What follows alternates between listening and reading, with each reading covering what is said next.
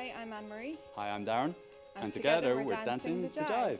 I'm teaching in the school a few years now, and my good friend John Cryan wouldn't let me get away with not doing it, so he roped me in from the very beginning. And Darren, your story? My story is I'm super sub. Uh, I have two kids in the school and one past pupil, and I don't know how to say no. Um, I think for me, the rehearsals and just getting to meet up with everyone and dancing and having great crack, it's been brilliant fun. Uh, that's been the most enjoyable thing for me.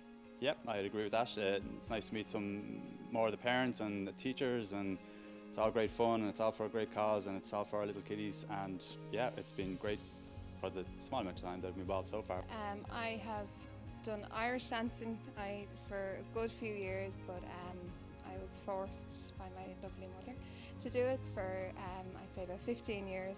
Um, but this is the first kind of creative dance that I've done and been involved in. And my dance experience is uh, probably at about half two in the morning in Coppers for the last couple of years, and then of course we got married.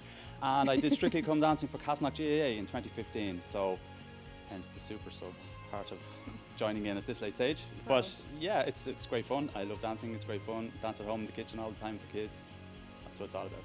Yeah, I'd say the lifts are a bit tricky, aren't they, the I, jumps? I can't say that the lifts are, diff- are difficult because that's Yeah, that's not no yeah. uh, no. What's most difficult part? I suppose uh, getting to, to learn to dance in such a short amount of time, but we're getting there. Um, I think we've only a little bit left to do. Yeah.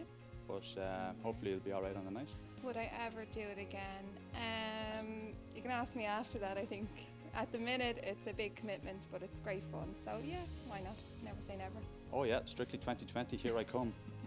For whoever, I don't know.